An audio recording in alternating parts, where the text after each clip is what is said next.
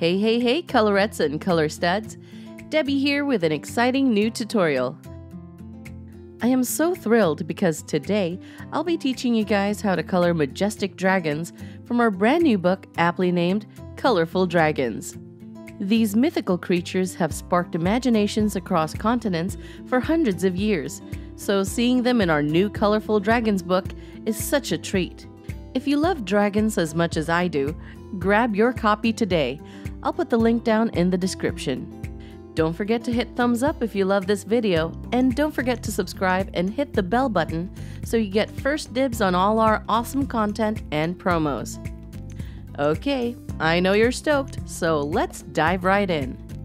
For this tutorial, I chose this gorgeous page featuring a regal looking dragon. It gives some serious Celtic vibes, doesn't it? Now, dragon scales should shimmer and shine, so we'll be doing gradient techniques using our Colorit gel and glitter pens as well as markers. I'm thinking of a dragon with gorgeous green scales. To create gradients, we'll basically need three shades the highlight or the lightest shade, the midtone or the middle shade, and the shadows or the darkest shade. We'll be using Glitter Firefly, Glitter Silver Sage, and Glitter Peridot, respectively. If you want to try out different colors, go ahead. Swatch them out first on a piece of scrap paper to see if they work. I like to start with my midtone as the base color and just leave out a bit of white space for my highlight. Then I add my darkest shade for some depth. You can also add a bit of glitter turquoise to even out the color transitions if you like. I'm just going to continue to blend and shade those main colors as we go along. Purple offers a nice contrast to the greens and yellows, so I'm going to use that in the areas under the scales. It also adds some depth and dimension, don't you think?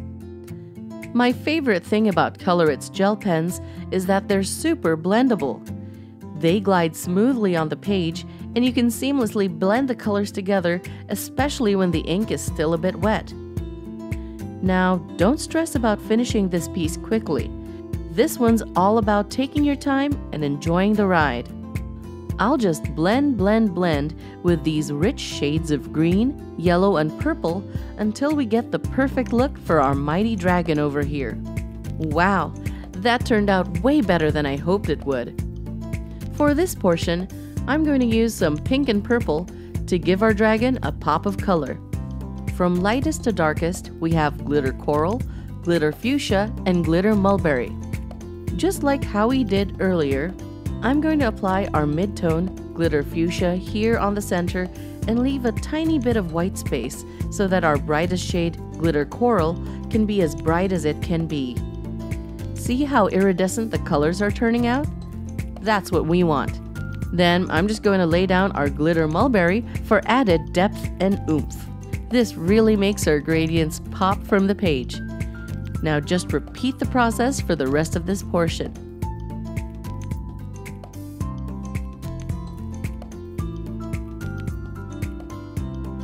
gorgeous. For these areas here, I'm going to use glitter mulberry and slowly ease into a darker color transition. I'll blend it out with a deeper violet tone. Then for this portion, I'm going to go with a dusty pink on the outer edge and add in a lighter shade here at the center. See how nice the alternating gradients work together? It makes our dragon pop from the page and look more iridescent. Glitter pens aren't the only medium you can use when coloring dragons. You can also create similar gradients using markers. If you've been watching our tutorials for a while now, you'll know just how much I enjoy using Colorit's alcohol markers. It blends as smooth as butter and you can build your layers easily too.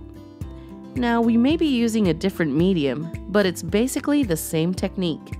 Just make sure you've got your lightest shade, your midtones, and darkest tone. Let's play around with some cool blues, shall we? The midtone, aquamarine, goes in first, followed by the darker Caribbean blue. For highlights, I'm actually going to use Glitter Platinum Pen for some much needed shine. Let's go back to the dragon's fins. Wait, what do they call these fins?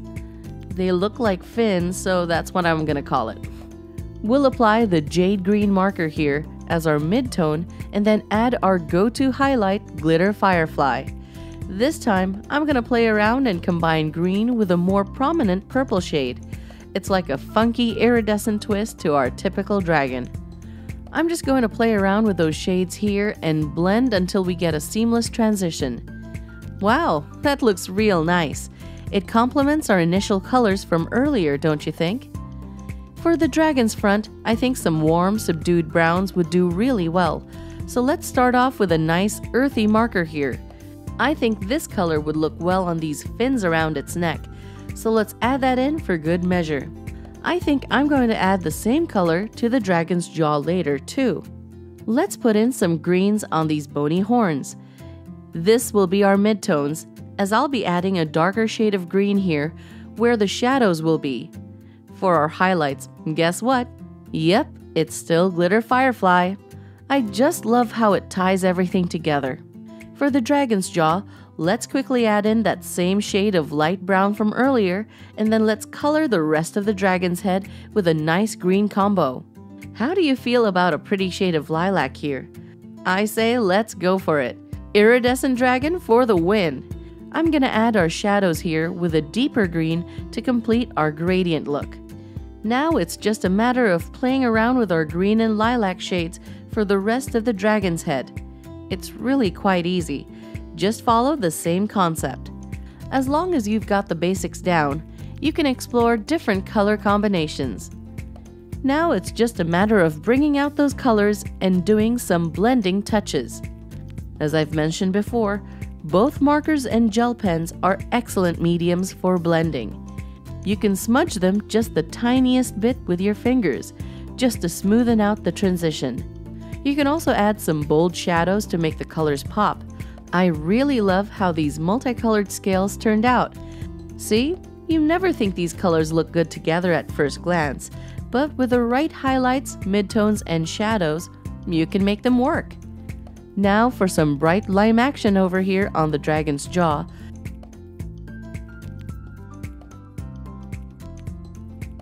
And some earthy ones here on the snout. The horn should be... what do you think? Blue? Nice idea. Let's do that.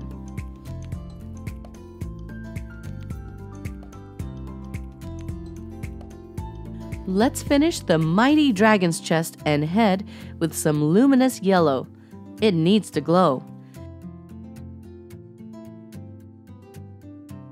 These bigger horns at the back would look really great in a brown and earthy green combo, just to tie everything together blend, and shade.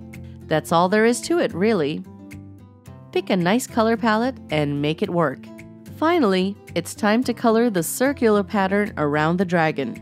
We don't want too much contrast, so let's go for a yellow and bronze combination here on the outside and a lovely pink violet and pale yellow pattern here on the inside to tie everything together. Add in some deep greens that go really well with the scales, and we're good. The last thing that we need to add is a background color. Red is bold and popping, so just color that one with your marker's broad tip.